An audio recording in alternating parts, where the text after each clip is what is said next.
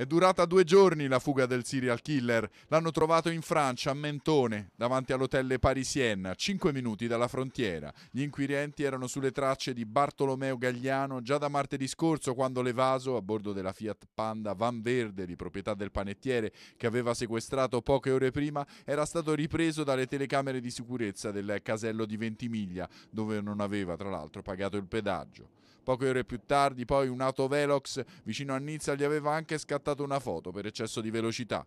Pare che al momento dell'arresto abbia detto è stato un colpo di testa, mi dispiace. Un gesto, quello della fuga, di cui evidentemente si era pentito. Poche ore prima di essere arrestato dalla gendarmeria francese, infatti, aveva chiamato il suo avvocato. Si sarebbero dovuti incontrare ieri pomeriggio nel ponente Ligure. Voleva costituirsi. Nella sua camera hanno trovato una pistola, una 7,65 col colpo in canna e anche numerose munizioni. Ora è stato portato a Nizza dove ci sarà l'udienza in tribunale per l'estradizione. Gagliano, in ogni caso, non si opporrà a tornare in carcere in Italia. Se tornerà in quello di Marassi a Genova, non troverà però il suo direttore, Salvatore Mazzeo. Il Dipartimento di Amministrazione Penitenziaria ha aperto un'inchiesta interna per le dichiarazioni di Mazzeo alla stampa ed ha avviato la procedura di trasferimento al provveditorato generale della Liguria.